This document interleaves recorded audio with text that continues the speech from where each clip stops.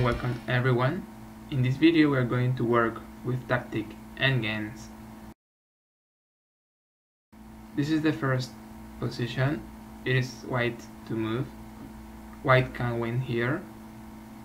As you can see white has an extra pawn here but black knight is controlling and also black king is controlling is close to the promotion square so it seems like it should be an easy draw for black. However there is a way to win for white. The first move for white here is knight b7 black knight has to take.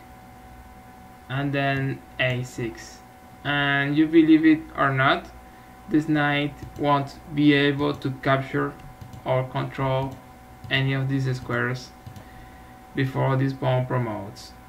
Let's see after something like knight d6 then a7 and there's nothing black can do.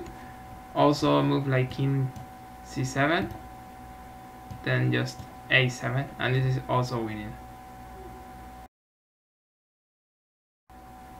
White to move white wins.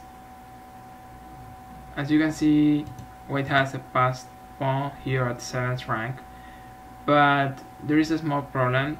Uh, the rook is blocking the pawn and if the rook moves somewhere then the pawn will be hanging. If by some way we could move this rook and put this king in check we could win here. But as you can see this pawn is protecting black king from checks. So that's why the first move here is going to be d5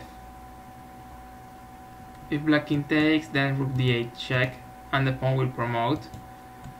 And if pawn takes then the check will be on c8 and it's the same idea here. Uh, after something like rook h6 then d6 and this pawn is also about to promote and after rook takes then rook f8 and uh, white is going to get at least a rook for the pawn. White to move white can get a draw in this position. As you can see black has an extra rook. The first move for white here is queen takes h6 after king takes queen only move then white plays e5 and after king g7 or king h7 this is going to be stalemate.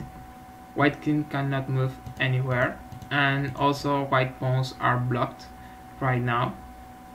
That means that white doesn't have any legal move and white king is not in check. So this is a draw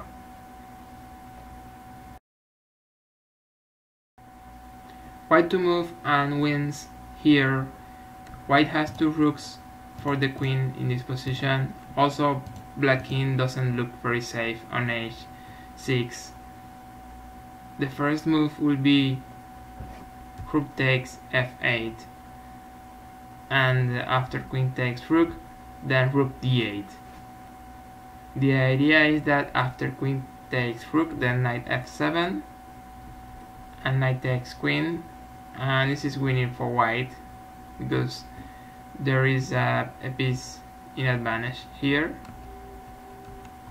But also after something like queen c5, white can't play king h1 and white will be threatening rook h8 checkmate here and it's not easy to stop that so white will be winning there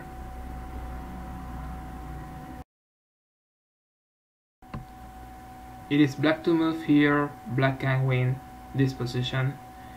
They have a bishop and a knight versus a queen here. But there is this amazing line. The first move here is bishop takes d4 White has two options, king takes bishop, but then knight b5, and after queen takes bishop, then knight c6.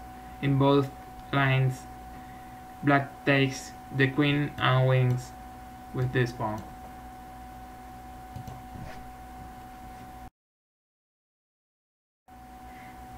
Black to move here, black wins. If we analyze the position, we will see that there are some checkmate ideas around. For example, if this knight was not controlling here, then knight e3 would be checkmate. And also if this knight was not controlling here, then knight g3 would be checkmate. Also, white king cannot move anywhere right now. That means that if white had to move right now, then black would be winning when any of these knights move. That means that if we can just make a tempo and keep controlling all these squares around white king, then we are going to win. That's why the first move will be king h1 and after this there's nothing white can do. If this knight moves, then knight g3 checkmate and if this knight moves, then knight e3 checkmate. So thank you for watching this video. I hope you have enjoyed it. If you think this was more or less good, give me a like. That will help my channel so much. I hope you keep progressing at chess.